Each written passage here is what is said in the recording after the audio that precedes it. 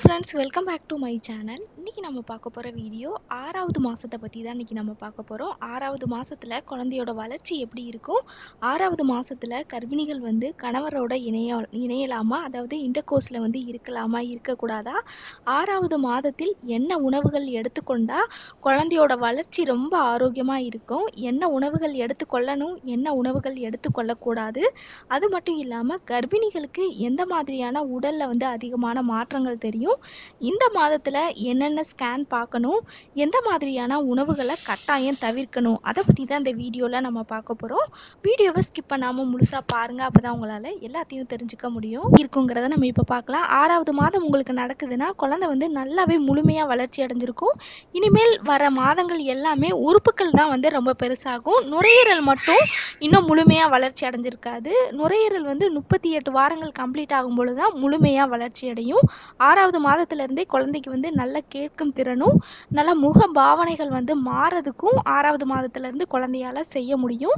ஏன்னா ரொம்ப அதிகமாக சவுண்டு வச்சாலோ இல்லை நீங்கள் பேசுகிறத கேட்குறதோ எல்லாமே குழந்தையால நல்லா கேட்கவும் முடியும். இப்போ ரொம்ப வெளியில் வந்து ரொம்ப அதிகமாக சவுண்ட் இருக்கும் பொழுது குழந்தைக்கு வந்து பிடிக்கலைன்னா முகம் சுளிக்கவும் இந்த ஆறாவது மாதத்துலேருந்து செய்யும். இரண்டாவது குழந்தையாக இருந்ததுன்னா உங்களால் ஆறாவது மாதத்துலேயே குழந்தை வந்து உதைக்கிறதையும் அசைவை வந்து உணர முடியும். ஒரு சிலரால் முதல் குழந்தையா கூட அவங்களால அசைவையும் உணரவையும் உதைக்கிறதையும் இந்த ஆறாவது மாதத்துலேயே அவங்க வந்து உணர்வாங்க. நிறைய பெண்களுக்கு வந்து குழந்தையோட அசைவை வந்து தெரியாமல் கூட இருக்கலாம். அதனால் எந்த ப்ராப்ளமும் கிடையாது. ஏன்னா ஏழாவது மாதம் உங்களுக்கு ஆரம்பிக்கும் பொழுது தான் குழந்தையோட அசைவை வந்து நல்லா நீங்கள் ஃபீல் பண்ண முடியும். உங்களுக்கு குழந்தையோட அசைவு ரொம்ப கம்மியாக இருக்குன்னு சொல்லிட்டு வருத்தப்படணும்னு தேவை கிடையாது. ஆறாவது மாசத்துல இருந்து தான் குழந்தைக்கு வந்து நோய் எதிர்ப்பு சக்தி வந்து ரொம்ப அதிகமாகும். ஏன்னா ரத்த வெள்ளை அணுக்கள் வந்து இந்த மா மாசத்துல தான் ரொம்ப அதிகமாக உருவாகும். அப்படி உருவாகும் பொழுது தான் நீங்கள் கரெக்டான நியூட்ரிஷன் எடுக்கும் பொழுது நல்ல வெள்ளை அணுக்களாக நல்ல ஆரோக்கியமான வெள்ளை அணுக்கள் உருவாகும் பொழுது தான் குழந்தைக்கு வந்து நல்ல நோய் எதிர்ப்பு சக்தி வந்து ரொம்ப அதிகப்படுத்தும். இருந்து குழந்தைக்கு வந்து கண் இமைகள் புருவங்கள் மற்றும் குழந்தைக்கு வந்து நல்ல முடி வந்து நல்ல வளர்ச்சி அடைஞ்சிருக்கும். ஒரு சில குழந்தைங்களுக்கு வந்து அவங்களோட தோல் பகுதியும் தசை பகுதிகளும் நல்ல முழுமையாக வளர்ச்சி அடைஞ்சிருச்சனால தான் ஒரு சில ஒரு சில பெண்களுக்கு வந்து அவங்களால அசைவையும் உதைக்கிறதையும் அவங்களால சீக்கிரம் உணர முடியுது. ஒரு சில குழந்தைங்களுக்கு அவங்களுடைய தோல் பகுதியும் சதை பகுதியும் கொஞ்சம் முதிர்ச்சி அடைகிறதுக்கு அதாவது முழுமையாக வளர்ச்சி அடைகிறதுக்கு கொஞ்சம் ஒரு சில வாரங்கள் வந்து கொஞ்சம் அதிகமாகலாம். அதனால தான் அவங்களால லேட்டாக அவங்களோட குழந்தையோட அசைவை வந்து அவங்களால உணர முடியுது. ஸோ குழந்தையோட அசைவு தெரியலன்னு சொல்லிட்டு வருத்தப்படணும்னு அவசியம் கிடையாது. க்கு உடல்ல வந்து என்ன மாதிரியான மாற்றங்கள் ஏற்படும்னா ஃபர்ஸ்ட் அவங்களுடைய வ- வயிற்றை சுத்தி நிறைய அரிப்பு மாதிரி உருவாகும். அது மட்டும் இல்லாம நல்ல ரெட் கலர் கோடு வந்து அங்கங்க உருவாகிருக்கும் இதை பார்த்து நம்ம பயப்படணும்னு தேவை கிடையாது. நம்மளோட குழந்தையோட வளர்ச்சி ரொம்ப அதிகமாகும் பொழுது நம்மளோட கற்பப்பையும் சேர்ந்து விரிவடையும். அதனால சுத்தி இருக்கிற தோல் பகுதியிலும் விரிஞ்சு கொடுக்கும். இதனால தோல் பகுதியில ஈர ஈ- இருக்கிற ஈரப்பதம் வந்து கம்மியாகும். அப்படி கம்மியாகும் பொழுது தான் நம்மளுக்கு அதிகமான அரிப்பு வந்து ஏற்படும். இந்த நேரத்தில் நீங்கள் அதிகமாக தண்ணீர் குடிக்கிறதுனால இந்த வறட்சியை வந்து கம்மியாகி இந்த அரிப்பை வந்து கம்மி பண்ணலாம். உங்களால் தாங்க முடியாத மாதிரி நார்மலாக கோகோனட் ஆயில் அப்ளை பண்ணுங்கள் அந்த அப்படியும் அப்ளை பண்ணியும் உங்களுக்கு வந்து இன்னும் அந்த அரிப்போ இல்லை வலியோ அந்த மாதிரி இருந்ததுன்னா டாக்டரை கன்சல்ட் பண்ணிங்கன்னா ஒரு க்ரீம் வந்து கொடுப்பாங்க. அதை அப்ளை பண்ணி வச்சிட்டிங்கன்னா உங்களுக்கு இந்த ஸ்டிச் மார்க்கெல்லாம் உருவாகாது. செகண்ட் ஒன் பார்த்தோம்னா நிறைய பெண்களுக்கு இந்த மாதத்துலேருந்து நிறைய இடுப்பு வலியோ முதுகு வலியோ வந்து உருவாகும். இதுவும் குழந்தையோட எடை வந்து இந்த மாதத்துலேருந்து ரொம்ப அதிகமாகும் பொழுது நம்மளோட கற்பப்பை விரிவடைகிறதுனால உங்களுடைய வயிற்று பகுதியில் இருந்து இடுப்பு பகுதியை சுற்றி இருக்கிற தசைநார்கள் சேர்ந்து விரிவடைகிறதுனால இந்த நேரத்தில் இருந்து நம்மளுக்கு இடுப்பு வலியோ முதுகு வலியோ வந்து அதிகமாக உருவாகும். இது வந்து ஒரு அரை மணி நேரமோ ஒரு மணி நேரமோ தான் இருக்கும். ரொம்ப நேரம் உங்களுக்கு அந்த முதுகு வலியோ இடுப்பு வலியோ ரொம்ப தாங்க முடியாத அளவு இருந்தாலோ சுருக்கங்கள் வந்து ரொம்ப அதிகமாக ஏற்பட்டாலோ நீங்கள் டாக்டரை கன்சல்ட் பண்ணுறது ரொம்பவே நல்லது. நிறைய பெண்களுக்கு இந்த மாதத்தில் இருந்தே தூக்கமே வராது. நார்மலாக நீங்கள் இடது பக்கம் தான் படுக்கணும். ரொம்ப நேரம் வந்து இடது பக்கம் நம்மளால் படுக்க முடியாது. வலது பக்கமும் படுக்கலாம் இடது பக்கமும் படுக்கலாம். ஒரு மணி நேரத்தில் ஒரு ஃபார்ட்டி ஃபைவ் மினிட்ஸ் இடது பக்கமும் ஒரு ஃபிஃப்டீன் மினிட்ஸ் வலது பக்கமும் அப்படி படுக்கிறது மாதிரி பாருங்கள் நீங்கள் வலது இடது பக்கம் படுக்கும் பொழுது தான் உங்களுக்கு குழந்தையும் ரொம்ப ஆரோக்கியமாக இருக்கும். அது மட்டும் இல்லாமல் குழந்தைக்கு தேவையான நியூட்ரிஷனும் கரெக்டான அளவு போய் சேர்றதுக்கும் நம்ம உடலில் வந்து கரெக்டான ஹார்மோன் வந்து செயல்படுறதுக்கும் இந்த நம்ம இடது பக்கம் தூங்கும் பொழுது தான் கரெக்டாக செயல்படும். நிறைய பெண்களுக்கு நாம டெலிவரி ஆகிறதுக்கு அவங்க இடது பக்கம் தூங்கும் பொழுது அவங்களுடைய இடுப்பு பகுதியில் ரிலாக்ஸிங்கிற ஒரு ஹார்மோன் வந்து சுரக்கப்படும். அதில் அதிகமான பெண்களுக்கு இந்த மாதத்தில் அதிகமான பெண்களுக்கு அதிகமான பசி வந்து ஏற்படும். ஏன்னா குழந்தையோட வளர்ச்சி வந்து ரொம்ப அதிகமாக இருக்கிறதுனால நம்மளுக்கு சீக்கிரமே ஒரு சிலருக்கு ரொம்ப அதிகமாக பசி கூட ஏற்படும். அது மட்டும் இல்லாமல் ஒரு சிலருக்கு நைட்டெல்லாம் தூக்கமே வராது.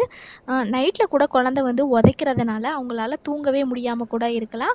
ஒரு நீங்கள் சாப்பிட்றதே ஒரு இரண்டு மூணு மணி நேரத்துக்கு முன்னாடியே சாப்பிட்டுட்டு அதுக்கடுத்து நைட்டு பாலோ அந்த மாதிரி ஏதாவது குடிச்சிட்டு படுக்கும் பொழுது இன்னும் உங்களுக்கு வந்து நல்லா தூக்கம் வர்றதுக்கு ரொம்பவே நல்லா இருக்கும். அது மட்டும் இல்லாமல் நைட்டு தூங்கும் பொழுது நல்லா உங்களால் எந்த அளவு சுடு தண்ணி வந்து அஹ், தாங்க முடியுதோ அந்த அளவு வந்து நல்லா சுடு தண்ணி வச்சு நல்லா குளிச்சுட்டு நீங்கள் தூங்கும் பொழுது உங்களுக்கு இன்னுமே ரொம்ப நல்லா தூக்கமும் வரும். இந்த ஆறாவது மாதத்தில் என்ன உணவுகள் நம்ம எடுத்துக்கொள்ளணுங்கிறத நம்ம இப்போ பார்க்கலாம்.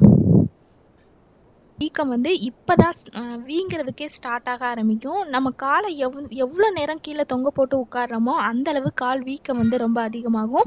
மேக்ஸிமம் காலை நீட்டி எங்கனாலும் உட்காருங்க.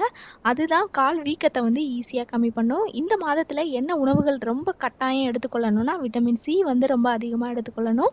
அப்படி எடுத்துக்கொள்ளும் பொழுது தான் நம்ம பாடியில் ரத்த ஓட்டத்தை வந்து இன்க்ரீஸ் பண்ணும். விட்டமின் சி தான் ஹீமோகுளோபினை வந்து உறிஞ்சு மற்ற எல்லா உறுப்புகளுக்கும் போய் செலுத்துறது இந்த விட்டமின் சி தான். அது மட்டும் இல்லாமல் நிறைய பெண்களுக்கு வந்து கர்ப்பகாலத்தில் தான் பல் அலர்ஜியோ இல்லை பல்லு வலியோ இல்லை பல்ல வந்து அதிகமான ரத்தப்போக்கோ அல்லது ஈறுகள் வலியோ இந்த மாதிரி ரொம்ப அதிகமாக ஏற்படும். இதுக்கெல்லாம் வந்து விட்டமின் சி வந்து கம்மியாக இருந்தால் கூட நம்மளுக்கு வந்து இந்த மாதிரியான பிரச்சனைகள் வந்து ஏற்படும். குழந்தையோட எலும்புகள் வளர்ச்சிக்கும் குழந்தையோட மூளைகள் வளர்ச்சிக்கும் அது மட்டும் இல்லாமல் குழந்தை குழந்தைகளுடைய தசைகள் திசுக்கள் வளர்ச்சிக்கும் இந்த விட்டமின் சி வந்து ரொம்பவே ஹெல்ப் பண்ணும். இந்த விட்டமின் சி எதில் இருக்கும்னா ஆரஞ்சு எலுமிச்சை சாத்துக்குடி இதில் எல்லாத்துலேயுமே வந்து சிட்ரஸ் ஃப்ரூட்ஸுகளில் எல்லாத்துலேயுமே விட்டமின் சி வந்து ப்ரெசண்ட் ஆகிருக்கு இதை தவிர திராட்சை பழத்தில் வந்து விட்டமின் சி அதிகமாக இருக்குது முட்டைக்கோஸில் வந்து அதிகமாக இருக்குது ஸ்வீட் பொட்டேட்டோவில் விட்டமின் சி வந்து அதிகமாக இருக்குது விட்டமின் சி கரெக்டான அளவு இருக்கும் பொழுது தான் குழந்தை வந்து ரொம்ப ஹெல்த்தியாகவும் ரொம்ப ஆரோக்கியமாகவும் இருக்கும்னு சொல்லுவாங்க. அதே மாதிரி காய்கறியும் நல்லா நார்ச்சத்து அதிகமாக இருக்கிற காய்கறியாக எடுத்துக்கோங்க. நல்லா பீக்கங்காய் சுரக்காய் இந்த மாதிரி தண்ணீர் சத்து இருக்கிற காய்கறிகளும் நீங்கள் அதிகமாக எடுத்துக்கும் பொழுது உங்களுக்கு மலைச்சிக்கல் பிரச்சனையும் ஈஸியாக செரிமானம் ஆகக்கூடிய பிரச்சனைகளும் ஈஸியாக சரியாகும். உருளைக்கிழங்கு வந்து எடுத்துக்கலாம் கத்தரிக்காய் இது எல்லாமே வந்து காய்கறிகள் அதிகமாக எடுத்துக்கிட்டு கார்போஹைட்ரேட் உணவை வந்து கம்மி பண்ணுறது ரொம்பவே நல்லது. நெக்ஸ்ட் ஒன் பார்த்தீங்கன்னா ப்ரோட்டீன் நெக்ஸ்ட் ஒன் பார்த்தீங்கன்னா ப்ரோட்டீன் ப்ரோட்டீன் தான் நெக்ஸ்ட் ஒன் பார்த்தீங்கன்னா ப்ரோட்டீன் ப்ரோட்டீன் தான் ஒரு குழந்தையோட மூணில் ஒரு பங்கு ப்ரோ ப்ரோட்டீன் தான் தேவைப்படும்னு சொல்லுவாங்க. ஸோ ஃபஸ்ட்டு வந்து ஃபோலிக் ஆசிட் செகண்ட் வந்து கால்சியம் மூன்றாவது பார்த்தோன்னா ப்ரோட்டீன் தான். ப்ரோட்டீன் வந்து எந்த உணவுகள்லாம் ரொம்ப அதிகமாக இருக்கும்னா பாலில் வந்து ரொம்ப அதிகமாக இருக்கும் முட்டையில் வந்து அதிகமாக இருக்கும் சிக்கனில் கூட ரொம்ப அதிகமான ப்ரோட்டீன் வந்து ப்ரெசென்ட் ஆகிருக்கு இதை தவிர கொண்டக்கடலை பாசிப்பயிறு தட்டைப்பயிறு இந்த மாதிரியான பயிறு வகைகளில் வந்து ரொம்ப அதிகமான ப்ரோட்டீன் வந்து ப்ரெசென்ட் ஆகிருக்கு ப்ரோட்டீன் இருக்கிற உணவை நம்ம அதிகமாக எடுத்துக்கொள்ளும் பொழுது நம்மளுக்கு ஃபேட்டும் ஈஸியாக இன்க்ரீஸ் ஆகாது. நம்மளுக்கு வெயிட் வந்து கம்மியாகும். குழந்தையோட வெயிட் வந்து இன்க்ரீஸ் ஆகிறதுக்கு ரொம்பவே ஹெல்ப் பண்ணும். அது மட்டும் இல்லாமல் தண்ணீர் வந்து எல்லாருமே சொல்லுவாங்க நம்மளோட பெரியவங்க இப்போ வந்து நீ ஒரு ஆளுக்கு கிடையாது ரெண்டு பேருக்கு சாப்பிடணும்னு சொல்லுவாங்க. அதே மாதிரி தண்ணி குடிக்கிறதும் நீங்கள் ஒரு ஆளுக்கு கிடையாது ரெண்டு பேருக்கு தண்ணி குடிக்கணும். நீங்கள் நார்மலாக இப்போ ரெண்டு லிட்டர் குடிச்சிங்கன்னா குறைஞ்சது ஒரு மூணு லிட்டரோ இல்லை நாலு லிட்டரோ ரொம்ப அதிகமாக தண்ணீர் எடுத்துக்கொள்ளும் பொழுது தான் உங்களுக்கு ஈஸியாக உங்கள் பாடியில் தண்ணீர் சத்தோட அளவு வந்து குறையாமல் இருக்கிறதுக்கு ரொம்பவே ஹெல்ப் பண்ணும். இப்போ பழங்கள்லாம் நம்ம என்னென்ன பழங்கள் எடுத்துக்கொள்ளணுங்கிறத நம்ம இப்போ பார்க்கலாம். நிறைய பேர் வந்து கொய்யாப்பழம்லாம் சாப்பிடவே மாட்டாங்க. கொய்யாப்பழத்தில் ரொம்ப அதிகமான நியூட்ரிஷன்ஸ் வந்து க இருக்குது. அது மட்டும் இல்லாமல் கொய்யாப்பழம் நம்ம சாப்பிட்றதுனால நம்மளுக்கு ஈஸியாக அந்த மலைச்சிக்கல் பிரச்சனை ஈஸியாக சரியாயிடும் வாழைப்பழம் சாப்பிட்லாம் கிரேப்ஸ் சாப்பிட்லாம். கிரேப்ஸ் மட்டும் நல்லா வாஷ் பண்ணி சாப்பிடுங்க. ஏன்னா அதில் வந்து அதிகமான மருந்துகள் இருக்கிறதுனால தான் ப்ரெக்னன்சி டைமில் வந்து சாப்பிடக்கூடாதுன்னு சொல்லுவாங்க. அது வந்து நம்மளோட குழந்தையோட வளர்ச்சியை பாதிக்கலான்னு சொல்லிட்டு நல்லா மைல்டாக நல்லா சுடு தண்ணியில் போட்டோ இல்லை கொஞ்சமாக கல்லுப்பு போட்டோ நல்லா வாஷ் பண்ணிவிட்டு ஒரு ஒரு தடைக்கு ஒரு மூணு தடையாவது நல்லா வாஷ் பண்ணிவிட்டு அதுக்கடுத்து சாப்பிட்றது ரொம்பவே ஆரோக்கியமானது. மாதுளம்பழம் ஆரஞ்சு ஆப்பிள் உங்களுக்கு என்ன பழங்கள் கிடைக்குதோ அது எல்லாமே சாப்பிட்றது ரொம்பவே நல்லது. அதுவும் நார்மலாக நம்மளுக்கு இல்லை எனக்கு இந்த பழங்கள்லாம் கிடைக்கலன்னு கூட இது பண்ணால் கூட நீங்கள் நார்மலாக கொய்யாப்பழம் வாழைப்பழம் இது எடுத்துக்கிட்டாலே அதில் அதிகமான பொட்டாசியம் தாமிரம் அது மட்டும் இல்லாமல் பீட்டா காம்ப்ளெக்ஸ் இது எல்லாமே வந்து பி காம்ப்ளெக்ஸ் ஆன்டி ஆக்சிடென்ட்ஸ் இது எல்லாமே இதுலேயே வந்து ப்ரெசென்ட் ஆகிருக்கு கர்ப்ப காலத்தில் உங்களால் எவ்வளோ உணவுகள் எடுத்துக்கொள்ள முடியுமோ எந்த மாதிரியான பழங்கள் வந்து சாப்பிட முடியுமோ அதிகமாக கேரட் எடுத்துக்கோங்க. பீட்ரூட் வந்து அதிகமாக எடுத்துக்கோங்க. இதை தவிர டெய்லி வந்து ஒரு காய்கறி சாப்பிட்ற மாதிரி வெண்டைக்காய் அதிகமாக எடுத்துக்கலாம். இது எல்லாமே வந்து நம்ம பாடியில் வலுவழுப்பு தன்மையை அதிகமாக்கும். இதனால் குழந்தையோட வளர்ச்சி ரொம்ப அதிகமாகும். நம்மளுடைய கற்பப்பையை சுற்றி இருக்கிற தண்ணீர் சத்தோட அளவும் குறையாமல் ஈஸியாக மெயின்டைன் பண்ணுறதுக்கு இந்த காய்கறிகளில் இருக்கிற நீர்ச்சத்துக்கள் ரொம்பவே ஹெல்ப் பண்ணும். என்னென்ன உணவுகளை நம்ம கட்டாயம் தவிர்த்து கொள்ளணும்னு நம்ம இப்போ பார்க்கலாம் ஃபர்ஸ்ட் நம்ம பார்த்தோம்னா கெஃபின் கெஃபின் வந்து எதில் ப்ரெசென்ட் ஆகிருக்குன்னா நமக்கு நார்மலாக குடிக்கிற டீ காஃபியில் வந்து கெஃபின் வந்து ப்ரெசென்ட் ஆகிருக்கு இது வந்து நம்மளோட குழந்தையோட வளர்ச்சியை பாதிக்கலாம்னு சொல்கிறாங்க ஒரு நாளைக்கு அஞ்சுலேருந்து ஆறு டீ குடிக்கிறவங்க குறைஞ்ச கொஞ்சம் கம்மி பண்ணிக்கலாம். ஒரு டீயோ ரெண்டு டீயோ குடிக்கலாம். குடிக்காமல் இருக்கிறது ரொம்பவே நல்லது. இல்லை என்னால் குடிக்கவே முடியாதவங்க வந்து இந்த ஒன்றோ அல்லது ரெண்டு டீயோ எடுத்துக்கிறது ரொம்பவே நல்லது. நிறையா அதிகமான ஆயில் ஐட்டமோ இல்லை வெளியில் சாப்பிட்ற உணவையோ ரொம்ப தவிர்த்துக்கொள்கிறது ரொம்பவே நல்லது. ரொம்ப பச்சையாக சாப்பிடாம நல்லா வேக வச்சு எடுத்துக்கோங்க. ஆறாவது மாதத்தில் நிறைய பேர் கேட்டிருந்த கேள்வி என்னென்னா இண்டர்கோர்ஸில் வந்து இருக்கலாமா இருக்கக்கூடாதான்னு சொல்லிட்டு.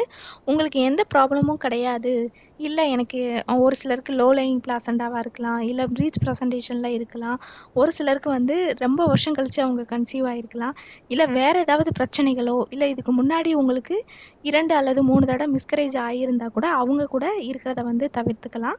இல்லை எனக்கு இதுக்கு முன்னாடி ரொம்ப ஹெல்த்தியாக தான் இருந்தது. உங்களுடைய டாக்டர் கன்சல்ட் பண்ணிவிட்டு அதுக்கடுத்து நீங்கள் இன்டர்கோர்ஸில் இருக்கிறது ரொம்பவே சேஃபானது தான் ஐந்தாவது மாதத்துக்கு மேலே இருந்து இன்டர்கோர்ஸில் வந்து இருக்கலாம். ஓகே ஃப்ரெண்ட்ஸ் இந்த வீடியோ உங்களுக்கு ரொம்ப யூஸ்ஃபுல்லாக இருக்கும்னு நினைக்கிறேன். இந்த வீடியோ பிடிச்சிருந்ததுன்னா லைக் பண்ணுங்கள் ஷேர் பண்ணுங்கள் கமெண்ட் பண்ணுங்கள் மறக்காமல் சப்ஸ்கிரைப் பண்ணிவிடுங்க